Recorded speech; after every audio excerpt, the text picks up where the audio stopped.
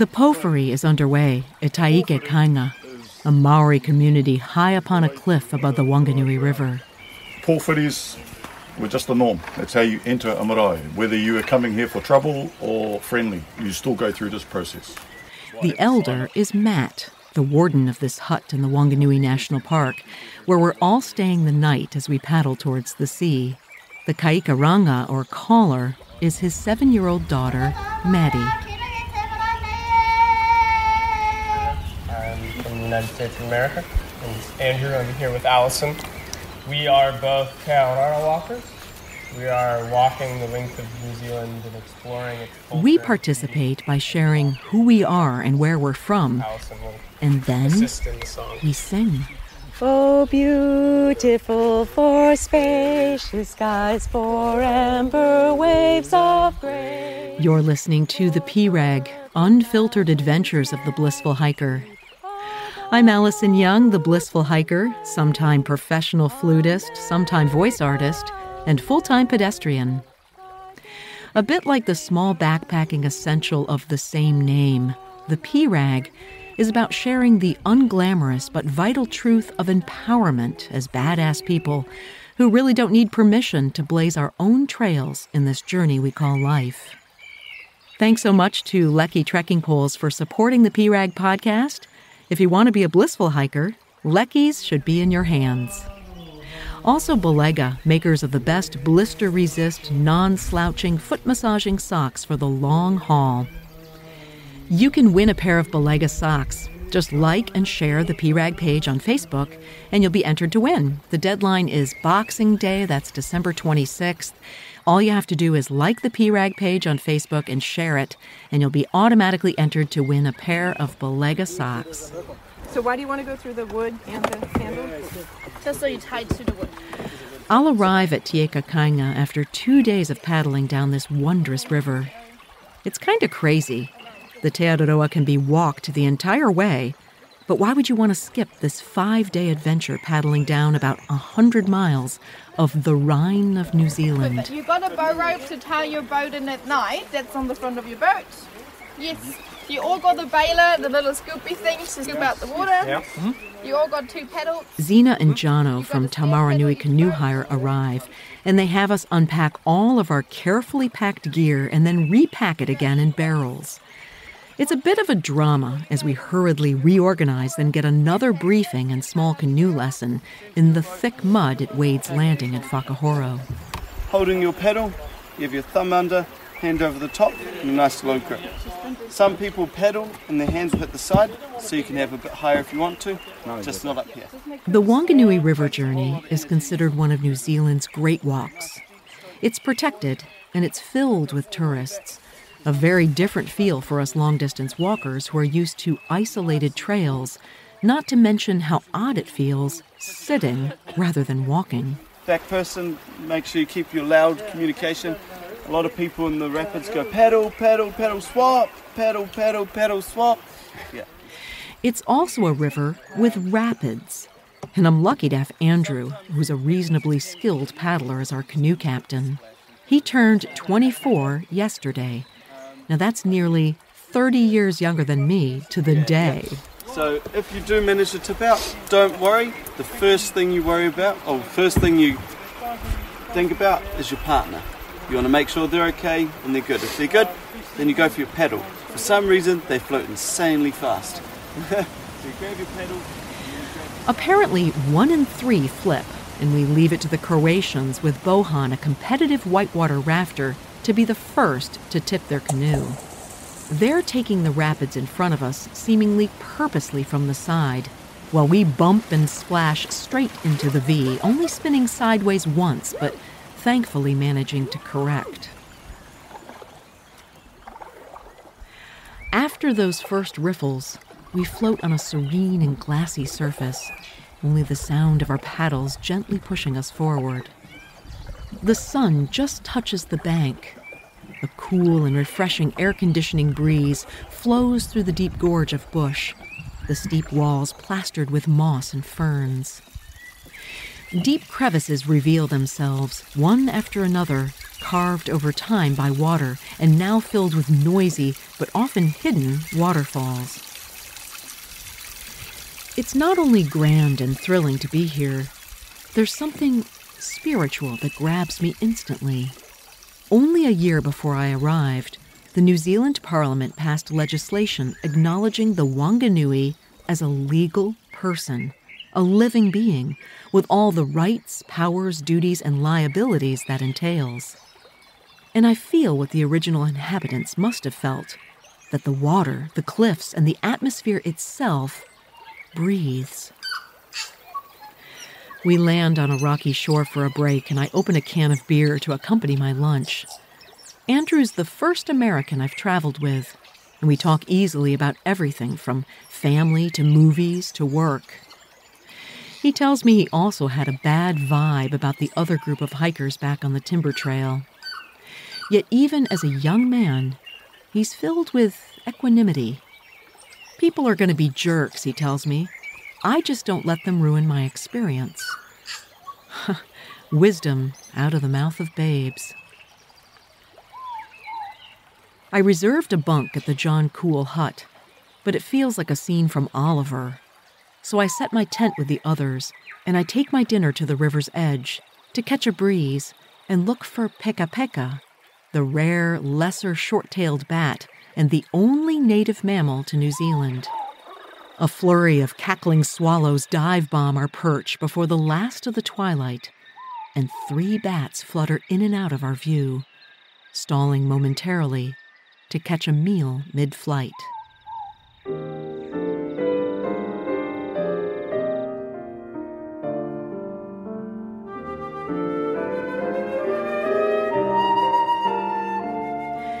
You're listening to The Pee Rag Unfiltered Adventures of the Blissful Hiker. Through sharing my stories of walking long distance trails as a solo, middle aged female hiker, I hope I can empower you to grab hold of your dreams and hike your own hike too. You can subscribe to the Pee Rag wherever you get your podcasts. And if you listen on Apple, I'd love it if you could take the time to leave a review.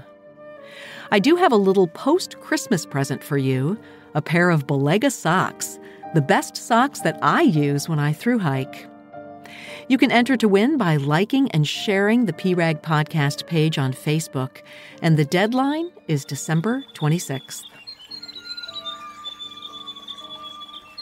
Our tents are damp in this foggy morning, set on a staircase of carved terraces Inca style. Yesterday, Andrew and I spied rock formations that appeared made by hand, huge hewn blocks as if a wall around the river. His passion is science fiction, so it got us fantasizing of ancient alien civilizations here in this last inhabited patch of the world. The morepork, the New Zealand owl, hooted through the still night until I was awakened by David's excited descriptions of climbs to Alex and the Croatians, as well as advice to slow down the pace for the South Island, which he completed last year. I really wanted him to shut up and give me a few more moments of sleep. But I'm going to miss David and these guys. They're going to go on further than Andrew and me today to get to Wellington before the month is over. That definitely won't be me moving fast, with the Tararua Range to come, a notoriously dangerous crossing, much more remote and difficult than the Tongariro. To prepare for bad weather days, I may have to wait out in a hut. I'll carry extra food but, of course, that slows me down on the steep ascents. Through hiking is a balancing act, and that difficult range is still a few weeks away, right after Christmas. Right now, the river is ahead, and the only part of me that's tired is my bony bottom.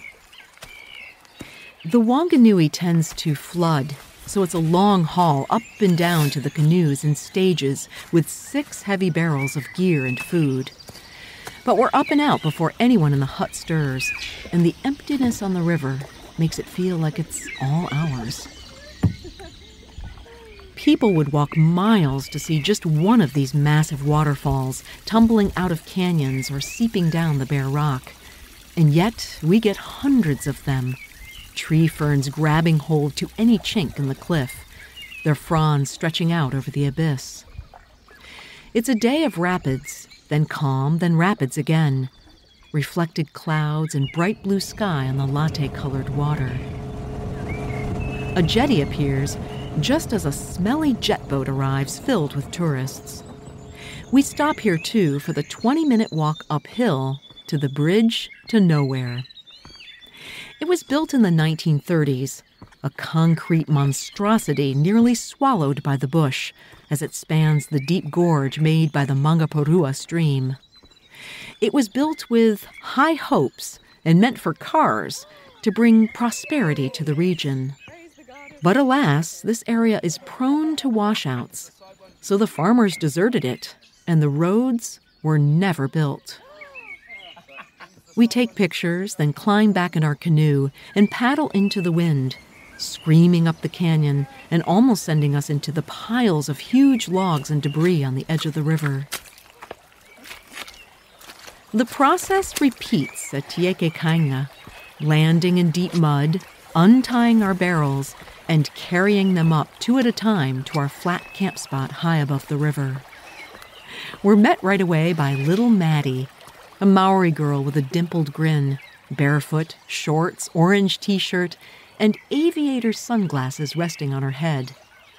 I'm fairly certain those glasses are her older sister Charlie's. And to Charlie's amusement, Maddie can't stop talking, proudly telling me all about this place, the plants that grow here, how long they stay in the summer, and what she does with her days. The three of us hike back down to the river and take a swim in a shallow area unaffected by the strong current. And then it's the big excitement of the afternoon when the helicopter arrives to make a delivery firewood, cooking gas, even a riding lawnmower. There's no other way to get here besides the river. When the national park was established, this bit of land was occupied by Maori. The Department of Conservation, or DOC, wanted to build a hut and camping sites right here for the ever increasing tourist industry, but they were at an impasse.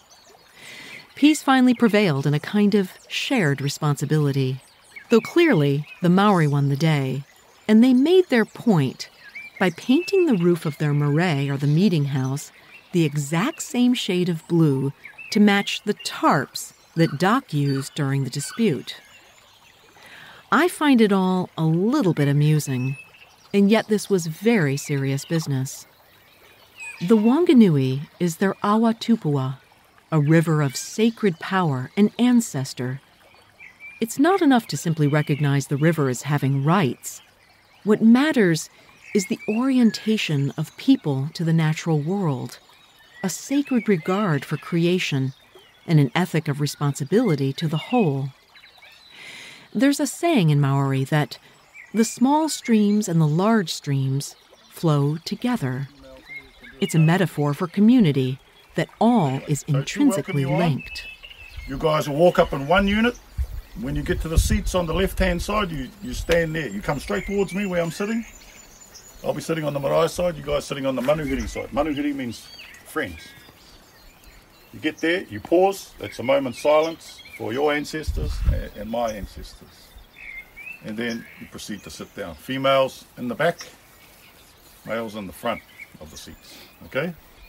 And so it makes sense that when we are invited to the Pōwhiri, a welcoming into the community of Tieke Kainga, that we identify ourselves by both our mountain and our river. To see why you're here. And normally Māori warriors would come out. Three of them would come out, one in the middle. The sky turns a deep purple and a few bats flutter above as we return to the little shelter next to our camp spots to make dinner. Maddie returns, flashing her adorable smile, and shows me a picture she drew of me, dressed in my hiking outfit and silly hat, my hair like straw sticking out the sides, and a big toothy grin. She tells me good night, and I know I probably won't see her again, so I give her a hug. When we pull apart, she reaches into her pocket and pulls out a stone, black and smoothed by the water. It's pakohe, a metamorphosed and hardened mudstone that was used for centuries because it could be sharpened into a tool. She tells me it has healing properties. Does she know that I need to be healed? Or is this just one of those things that seven year olds do, sharing something precious to them with someone they like? I thank her and take the stone into the alley coop, massaging its cool softness in my palm, and knowing I'll carry this pakohe with me every time I hike. It'll never sound as easy coming from me as it does from Maddie, but here's a try. Ko au te awa, ko te awa, ko au. I am the river, and the river is me.